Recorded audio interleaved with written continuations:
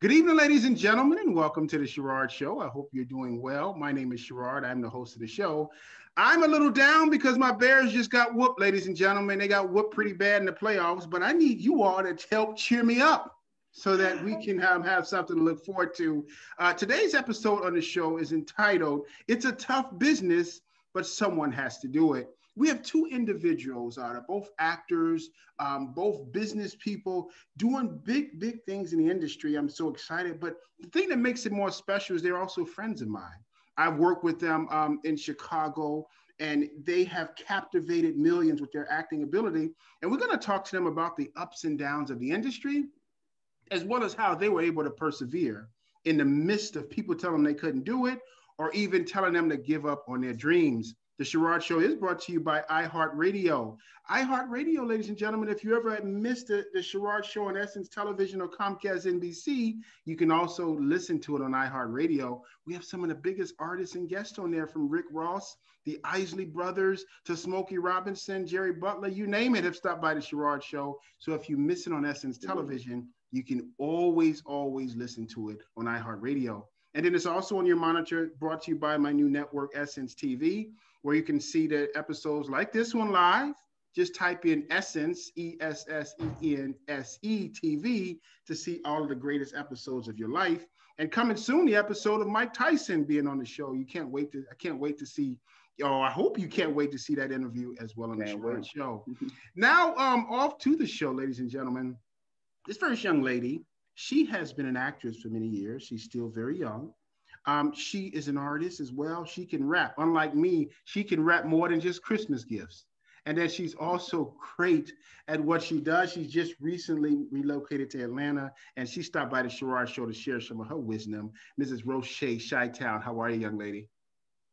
I am blessed. I cannot complain. And I want to thank you for thinking of us and allowing me to be on this platform. You're such a wonderful person. You always reach back and I really do appreciate you. Oh, thank you so much. Just so glad to have you on the show. And then this gentleman here, um, he is the alpha man um, on the Seven Shades of Man, and he's a dynamic actor. He's a humble gentleman, and he just celebrated his birthday. Now, the thing that's so special about his birthday, his birthday is the same day as my late mom, January 8th as well as um, R. Kelly, as well as Elvis Presley. He shares the same birthday, and he's been partying it up all this weekend. And he stopped by the Sherard Show just to talk about his career as well as the festivities. Mr. Mckenzie Holmes, how are you, sir?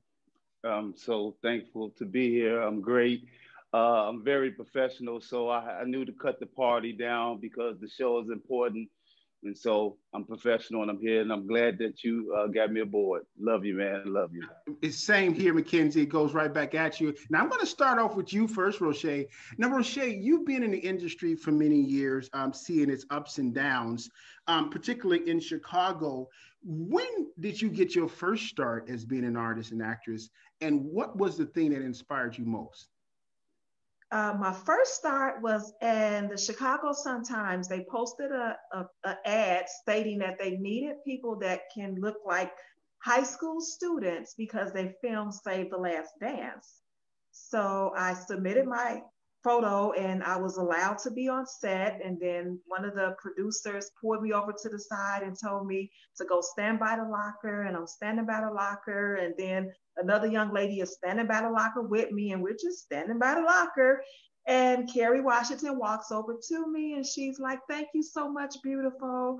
And I'm like, You're welcome. You know, and I'm still just standing by the locker. And then the producer, he's like, Hey, hey, Roche, come here. And I walked over and he goes, Okay, so you're the stand in. And I'm like, Stand in what? He's like, Oh, you're going to be the stand in for Kerry Washington. So once I was on that set. This was like in December of 1999. In January of 2000, I was in LA because that moment of just being on set with Kerry Washington and just watching her and learning from her, her humility, her talent, I went to LA and I just got in it. I just, I dove right into acting. Then I ventured into rapping and then I started writing, producing, directing, and putting my own shows out. And now I'm a talent scout for VXV Management, as well as a creative director for Dakota TV, which is on Roku as well. We're going to talk more about that. She's a heck of a businesswoman, heck of a mogul. She's doing some big things. Nice. But let me correct something though now, Roche. In 1999, weren't you in fifth grade? Okay, we'll move on to you, Mckenzie. Now, this man um, as well, first of all, he's cleaner than the Board of Health and he's been um, doing it for a bit now. I first met him um, doing the Alpha Man. Now, was it the Alpha Man that, that bit you to make you say, "Let's do this," or what was it, Mckenzie, that got the got the blood flowing as being an actor? No, funny. Uh, I was walking down the street one day, and my my baby's mother she called me. She said, uh, "I'm getting married." So I was like, ah, oh, man, is anything I could do? She was like, no. So I hung up and I said, God, you know, I'm tired of all these relationships. I just need something. I, I appreciate working at the post office, but I need something. And I need it now. And that was the first time God ever answered me right then and there. What he did was this little boy came out the out the house. He said, Man, I know you. I'm like, I play basketball and postman, I roller skate. And the others who said, That's the guy in the movie. I'm like, What movie? So I went to see Eddie Griffin, uh, Dysfunctional Family. So I go see it And because I went to see the concert and they had filmed it, but I'm not even in the front of nothing. But before it comes on the frame, one frame, my whole face, I was like, God, is this what you want me to do? And so, and me not being a good reader, never thinking I want to be on front of the stage and nothing like that. I'm like, you sure you want me to do this? But uh, you, hey, you asked me for some, so okay, we had this conversation. So I went on and did it, and so with everything, because God gave me this, there's no way nobody else can take this away from me, and I, I just believe in myself. And whenever my time comes, like when I finally got on the Chi, I mean, it was my time. When I did the commercial for McDonald's, it, it was my time, you know, and I put in the work. I was professional, and I knew that not being a good reader, I had to learn how to read. So I started reading better and reading or learning my lines before I even get there. So I'm off book most of the time when I get there just to make sure I can have the continuity with everybody else. Because if I'm not reading good, I can't read with them. So, you know, if I know my little shortcomings, I have to, you know, do something about it. You know what I'm saying? Now, so now that was my thing. Now, Mckenzie, you started, um, most people like started like when they were eight, nine, or in their teenage years. You started rather late in your career, is about, that correct? About 37. 37 years old. Now, we have a mm-hmm. picture of you with the Jheri curl at 37. Is that, no, okay. now, now, now, for you, Rochelle, let me kick it to you for a minute. Now, um, the industry is not a tough industry because people, now they're blowing the comments up already. Um, we'll get to the questions in a moment. But now, Roche, people um, oftentimes see all the glory of you being on the big screen and Kerry Washington and all these things, but they don't know that it's a business. Now, what were some of the struggles you had to go to uh, being an actor, being an artist, um, being in the industry? Uh, one of the main things in Chicago was it wasn't to me a lot of auditions because most of the people that would come to Chicago to film, they were from LA or New York and they were like already casted. So you just really had to like focus on studying and honing your craft. Like I took classes at Vagabond, the acting, the on camera courses. I also graduated recently from Illinois Media School. So I learned radio, broadcasting, and television because I really wanted to learn editing, the editing process, because it's so much fun to do the film where you're on the set, but people don't know there's so much that goes into the pre production, the casting, the table reads, all the paperwork. And then once all of that is completed, the continuity and just piecing everything together, that's where the really, really hard work comes in. So I kind of learned a lot of the behind the scenes things because it's fun to be in front of the camera and it looks like it's so much fun and it's so easy. And even my son, when he's on set, he does it like five or six times and he's like, he's ready to go. He doesn't, you know, there's this angle, that angle, the wide shot, and turn the camera around and all that stuff. So a lot of people mm-hmm. don't realize how hard it is and how much work and sacrifice goes into these wonderful productions that we see every day. That's very interesting you say that, Roche, because a lot of times, you know, you all have to put them, you have to put a message in a mess. it's a mess there, and you all make it into a message. So editors, um, my hats go off to you because you all do a fascinating job in terms of making things get beautiful. Um, now, Mckenzie, um, you were saying before we got online that a lot of people told you to not do it or to give up on your dream or was very discouraging to you. How were you able to overcome that? Well, like I said, first of all, God gave it to me. So I, I knew that right off the top.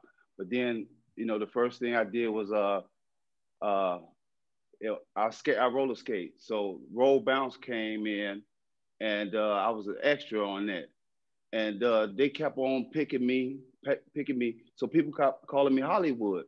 So it was confirming what God was saying to me. But I was on set and I was like, man, you know, I'm just close to speaking. I want a speaking word. So I start like like uh, excuse me, but I, I start I start taking classes myself. Like Rochelle, I take I start taking classes and uh, went to New York, took some classes. Uh, you know, just got really serious about it, and uh, you know, it, it paid off. And, and, and I started doing. First of all, I started trying to get a uh, an agent.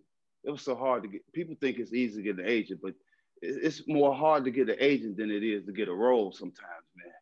So no, no, no. no. Why did you say that, Mckenzie? What were the agents telling you? Well, we got somebody that looked like you. They sometimes you wouldn't even get in the door because they'd be like, "Oh, we got somebody look at like you, uh, come back, uh, whatever."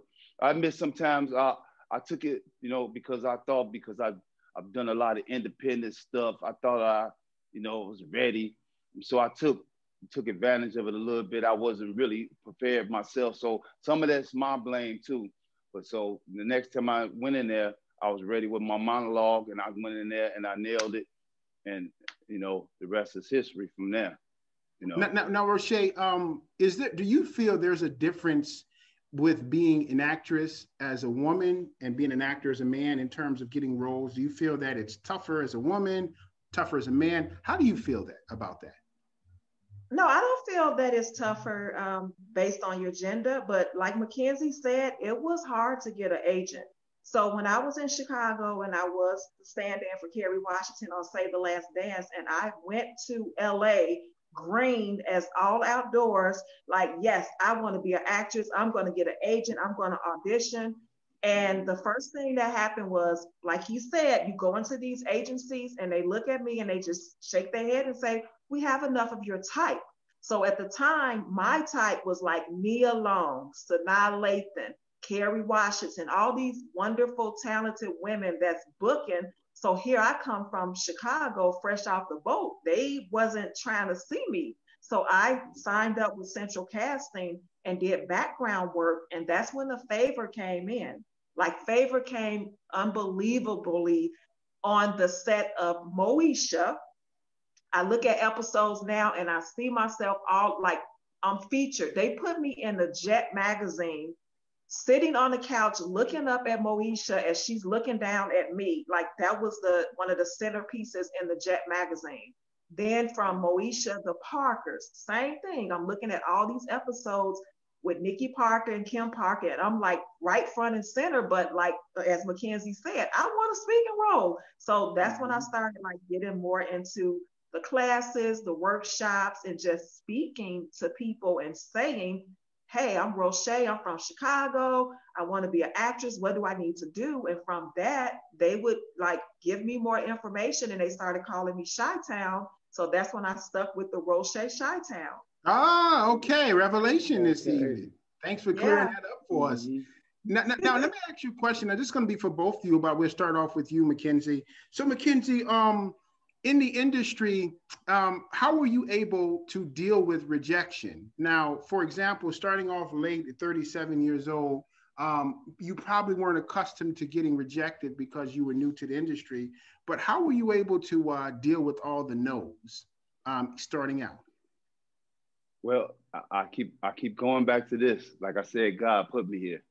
So just because I didn't get this, don't mean I should give up. Because He he tested me too. He he asked me, did I want this? You know, and and even like uh, I used to when I first started, I used to just get like small speaking roles. I just say two words at the end of a play, and my mom calling me, "Where you at? Where you at? When you gonna come out?" I'm like, "Mom, quit calling me. I'm gonna be out in the, on the third set. You know, about in four hours, I'll be out. Come out four hours, say one word." So I asked God, like, "Give me, uh, please, Lord, please give me uh something." So my first big lead role was uh, August Wilson play by uh, that uh, I met through Dion Hawkins, and it was like she said nine people quit. I was like, how can somebody quit a lead role? When I saw all the all the lines that I had to learn, I was like, kind of kind of no wonder they quit. But I was like, God was like, hey, you asked for it. Now what you gonna do? Now I only got three weeks to learn, just like uh, um, Seven Shades. I ain't got but three weeks to learn this. But God, I said, what you gonna do? I'm working at the post office. I'm walking down the street. I'm in the mail room. I'm learning these lines. I'm learning them, and I'm learning them because I, I, I got to do what I asked for. And, and I, you know, I know, just believe in myself. And and like eh, even even there, this lady came and she said because I had to I had to do another August Wilson play and this lady, she said, I never come to any plays like this. I only go to the Goodman and stuff like that. But my niece insisted I come. But I wish everybody could have saw you because you deserve the Oscar. Those are kind of those are the things that make me. I you know I get I know how I do by the audience response. I don't need to guess. I, I know by the audience. When the audience tell me I did good, then I know I did good. Now, now Mackenzie, is it, is it anywhere we can see your performance? Is it on YouTube? Where can we see your performance? I got uh, stuff on YouTube. I got a lot of stuff on my. Uh, uh, I got a fan page that, uh, besides my uh, Facebook page, uh, Instagram, you know, on it. But uh, and then IMDb, you can see stuff on there. Uh, mm-hmm. um, uh, my my best, uh, my first and best uh, what's that um extra I Meet the Browns every time y'all see Meet the Browns and y'all see the crackhead go get the crack before he gets shot. That's me. People like, I didn't know that was you. That's me.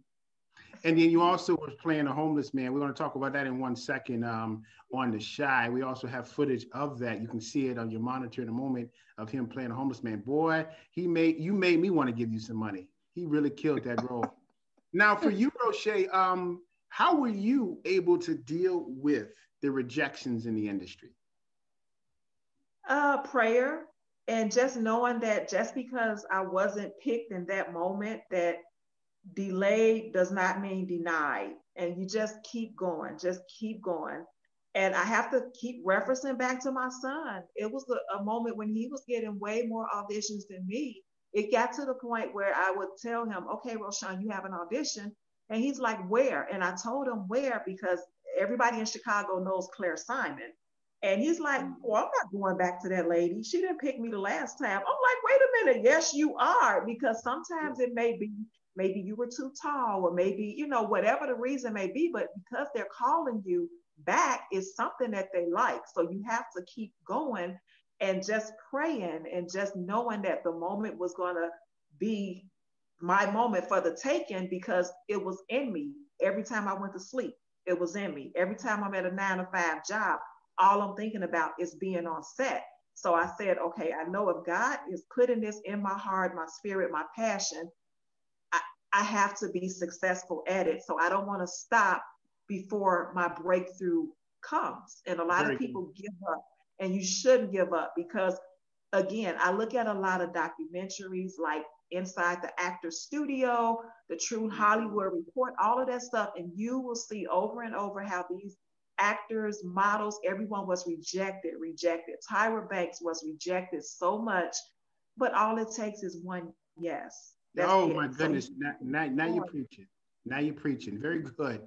Now, um, ladies and gentlemen, we are speaking to two illustrious actors, uh, Mckenzie Holmes in Chicago, um, he, he, he has a smile on his face, but he's hurting like me because the Bears lost and they lost bad. Yes. So I get it, but he's holding it together, as well as Roche, who is in uh, Atlanta, Georgia, who um, is a native child of Chicago, but they stopped by the Sherard Show to give a little time today. Now the lines are blowing up. People have so many questions. We'll get to your questions in a minute. Believe you me, I know you have a tons of them for them. But I want to throw this question to both of you all. First of all, to you, Roche. Now, Roche, you recently um, moved to Atlanta.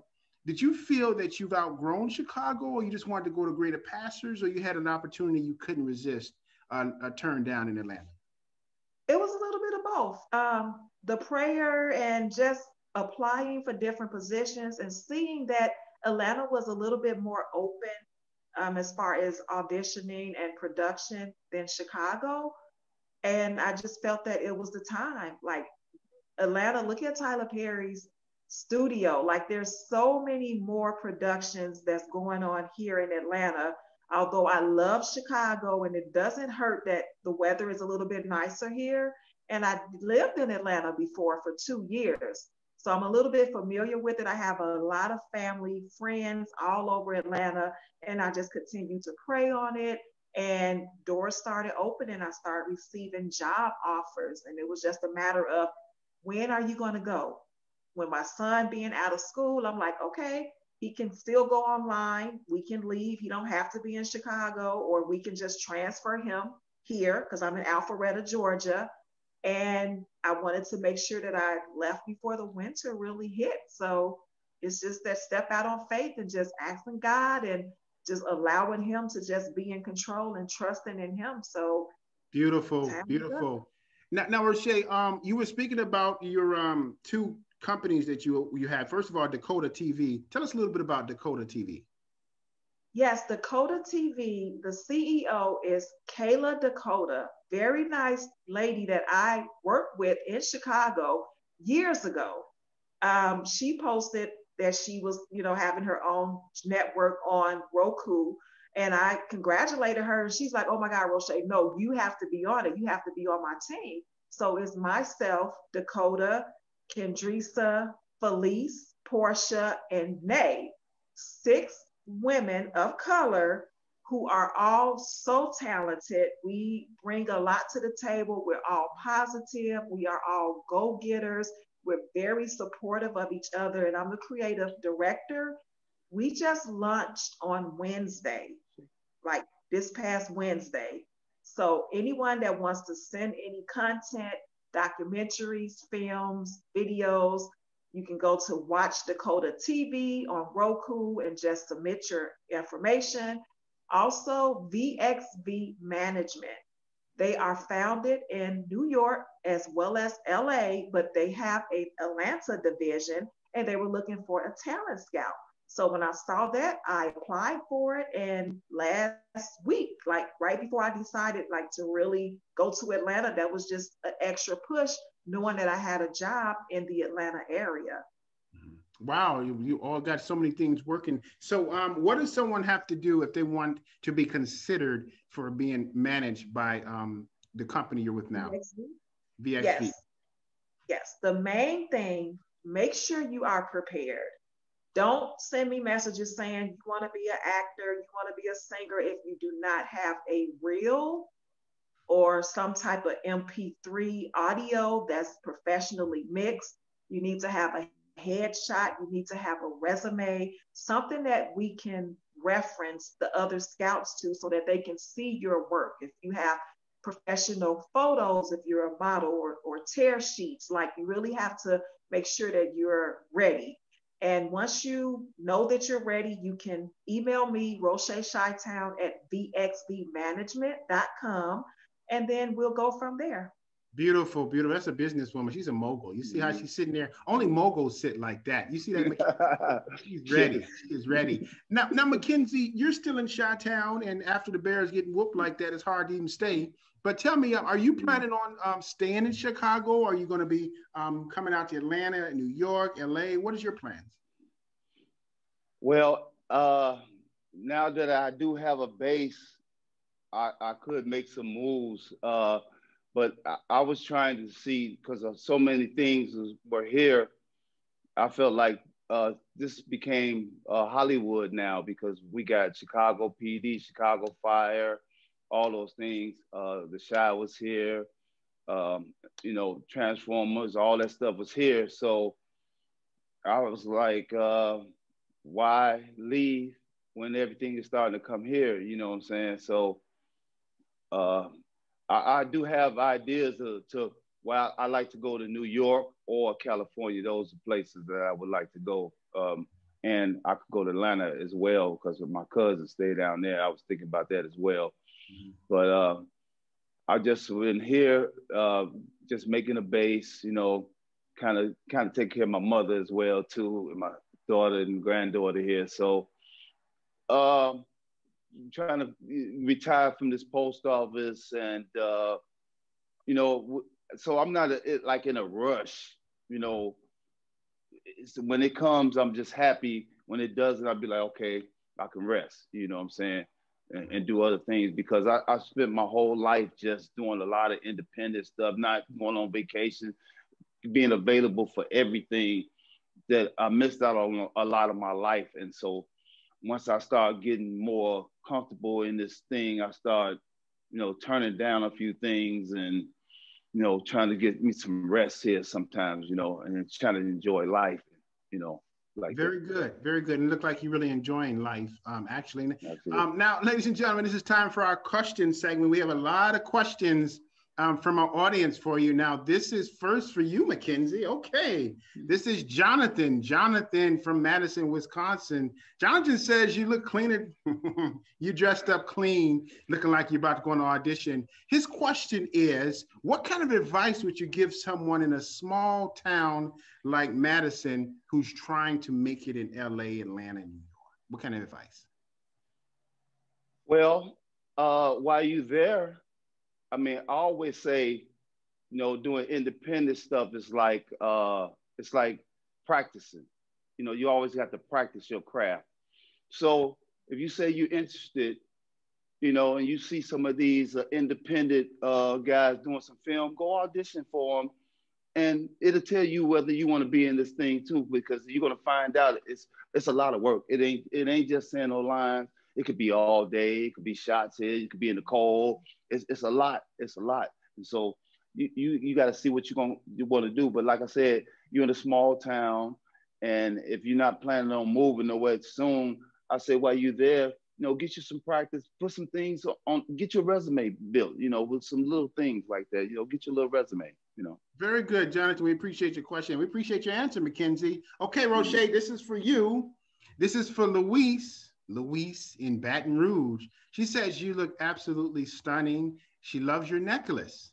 And her question to you is how does a woman preserve herself in the industry and not be known for who she's been with and more about her talent?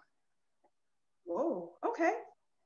Thank you, Louise. Um, this necklace, necklace was actually made by a Chicago native because I love to support my Chicago people. Danielle Carroll uh, makes jewelry.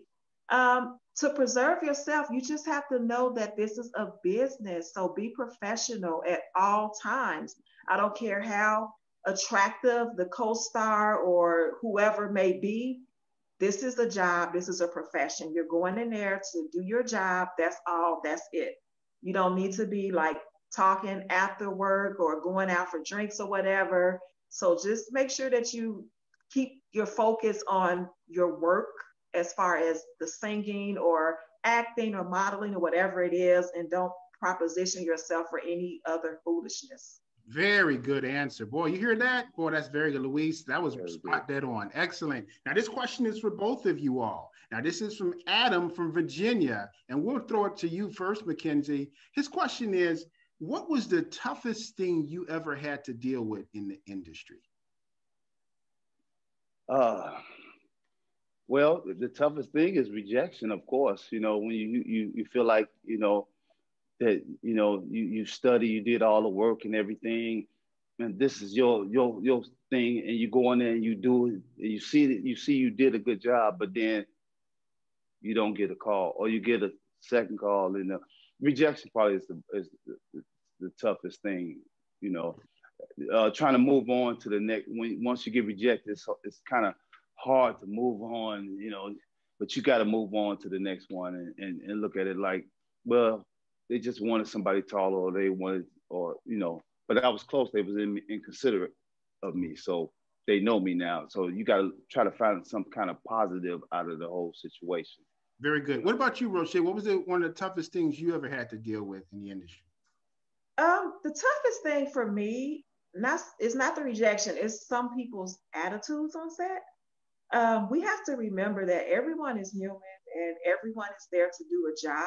So I don't like when people talk down to certain people or are just not friendly or helpful when they know that they can be, but but, but some people feel like for background in particular, because I've been on sets as first team and I've also been on set as just a regular background artist. So I mm-hmm. don't like to see how some people treat some of the background people. Very good. That's correct. That is correct. Mm-hmm. Um, this is an interesting industry because you can be high on a hog one day and flat on your back the next. It doesn't take long to mm-hmm. become an has been, and I don't like bad attitudes, but you see it more often right. than you don't, especially mm-hmm. in these big time gigs. Very good answer. All right, you have a time for a couple more questions, you two? Yes. Yeah, bring them on. This yes. is this is good. Okay, very good. Very good. All right, this is from Daniel from Indiana. And again, this is from both of you all. Um, his question is, this is a good one. His question is, when do you know, or when when is it that you've done enough extra work and you should start trying to transition to speaking roles? Okay, I'll start with you, Roche. When you are able to really understand the technical things that go on in the background. And when you're background, that's the best job. It's like a paid internship. So when you're background, you should really be watching the actors. You should be watching the directors and how they communicate and what they're looking for and what they're trying to get out of the talent. So when you start really going in as a background, but you're really paying attention to all of that and soaking up all of that, then you should start be considerate of putting yourself out to audition. And again, like Mckenzie said, learning monologues, going to workshops and classes, and just really taking it seriously. Very good. Mckenzie, what, what do you have to add to it? Uh, yeah, I, am like her. Uh, I've learned a lot as a background, you know, which helped me when I first got my first role. I wasn't even nervous because they was like, uh, Mckenzie, start on one, and then uh, on action, go to your one, go back to your two. I, I, knew all that. I knew all the lingo, and I learned all that from being a, a background. And uh, you know, what made me quit as a background is because, first of all, like she said, background, you're an actor too. And mm-hmm. I, the reason I got picked as an, uh, a background, I started getting more featured because I knew what the scene was about. And so when they come in the room, look for somebody. If it's some, if it's a scene where we got to be angry, so I'm when they come in the room, I'm looking angry. I ain't telling nobody my secret, but I'm looking angry. And so they be like, "You come here." And so you know, so if you you understand what's going on, and be an actor as a background person too as well. But then, like like I said, you know, I started feeling like you know, first of all, I was so close to seeing myself on there and I'm seeing them getting paid and I'm not getting paid and I'm right there featured. I need to say something. So uh, in other words, in order for me to say something, I need to take me some classes and, and get me an agent, you know what I'm saying? And uh, those are things you need to do. Get you an agent. Get you an agent, take you some classes. And uh, because if you don't get no agents, that's, you know, they have some open calls, but you're going to be less getting auditions that way. So get your agent, take it serious, you know, do all the work. Come in, like she said, with even with her business, you have to be prepared when you come in here. Don't just come here uh, without your headshots and resume and, and, and a monologue. I'm like, you don't have a monologue?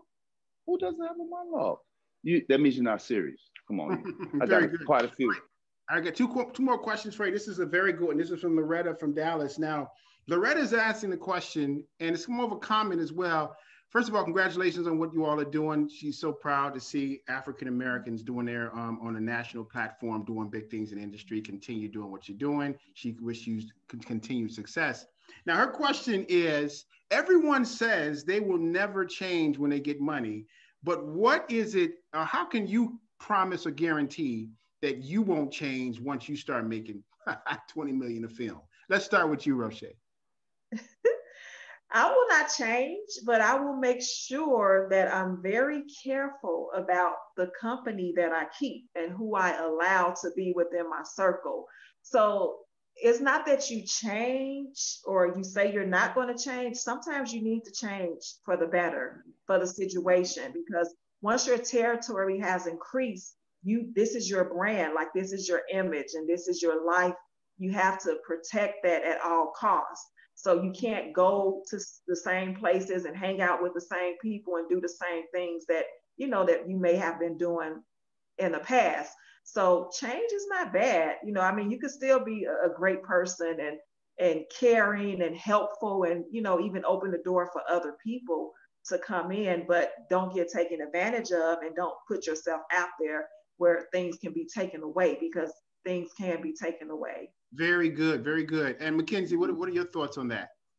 I mean, I mean, she said everything, but I, I like to add on that, uh, you know, since I've been in this business, uh, I've changed. You know, I've changed for the better, and uh, you know, and that meant getting rid of some people, and that. So, of course, I'm going to change. I'm definitely going to change, uh, change my situation, change my thought, change uh, how I think about business, uh, and a lot of people are not gonna like that, and they don't even like it, and I even made it all the way, and so I can't really think about how they think about it. If I need to make a change, I just need to make a change, and that's just it.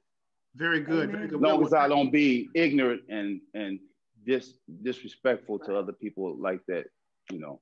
Very good. Well, um, I, I absolutely agree with what you're all saying because um, many times you don't even have a time to change before people start changing around you. Before you get home with the check, they see you received that $20 million check.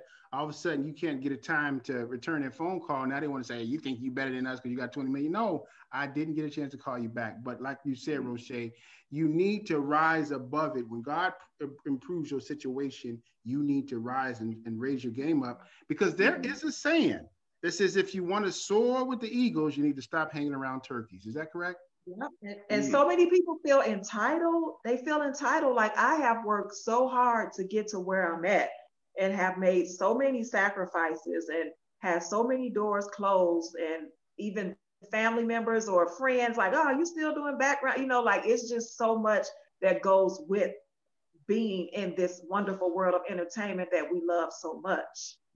That is correct. Um, now, um, this question is from me my question to you all is that, um, first of all, Roche, what do you have uh, upcoming? You're very busy with the two businesses, you have your films and things like that. But what are some of the things your fans can look forward to seeing you in? Well, we're looking forward to doing a sequel to my two productions that I have out, um, Cutting It Close, as well as hashtag Pink Panties. Don't get your panties in a bunch. A pink panty is a drink. So the, the whole part of the project is friends and relationships and what happens when we start drinking a little bit, things start coming out. And I had to think of a name of a drink that was kind of catchy. Um, and then just working more on my craft. Now that I'm here in Atlanta, I'm gonna, you know, try to get on some more shows as far as auditioning and just growing with uh, my productions. Very good, very good. And you, Mckenzie, I know we are working on the seven shades together, um, but yeah. what other some of the things you have working that you have in the pipeline as well, sir? Well, I'm definitely taking uh, guitar lessons, playing left-handed, uh, trying to be a triple threat, and trying to be ready to uh, play Jimi Hendrix one day. So that, and uh, also you know, while I'm waiting to uh, do uh, stuff through the agent, I'm still doing independent stuff. So uh, I'm playing uh, uh, Hitman in uh, Drill City, you know, ex-Marine, and so I'm a hitman in that. And also I'm playing another independent movie. I'm playing The Devil. So wow. I'm really looking forward to that one right there. I wow. did an audition and they loved the audition. So Congratulations. I'm looking forward to really, you know. So Mckenzie, when you're out on the date and that woman say you're nothing but a devil, you can agree with it now because you played. Absolutely, absolutely. I was a doctor. I played one. now, um, we have two more questions, and then we'll let you all get out of here. We're just about out of time. But um, one is uh, very simple. The fans want to know where they can keep up with what you got going on, reach out to you, fan mail, etc. We'll start with you, Mckenzie. Okay, I'm on uh, uh, Facebook. I'm uh, Mckenzie Holmes. Uh, Instagram. I'm Mckenzie Holmes Mac 10. Uh, I'm and Twitter. I'm Mckenzie Holmes One. So it's on your monitor, on those, and, a, and a fan page. I got a lot of stuff, YouTube, mm-hmm. all that, IMDb, all that. Now, Mckenzie, you're that. the only guy I know that has a separate account for the stalkers. Is that correct? Absolutely. you, got, you got to. I figured that out as well. Now, Roche, what about you? What is your um, information for your fans to keep in contact with you? Yes, everyone can be in touch with me as Roche ChiTown. That's my Instagram, Twitter, Facebook, LinkedIn.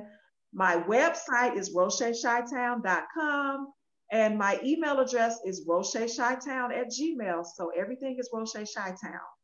Well, there you and have it, ladies and gentlemen. Roku. Excellent. There you have it, ladies and gentlemen. These two very busy individuals are doing such big things.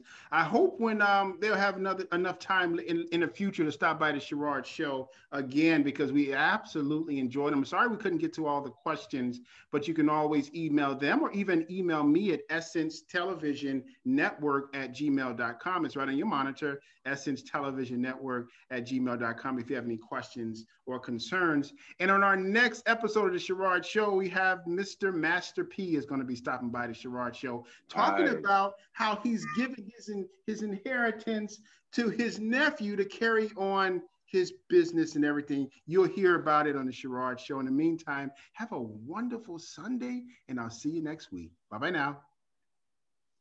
Be safe, everybody.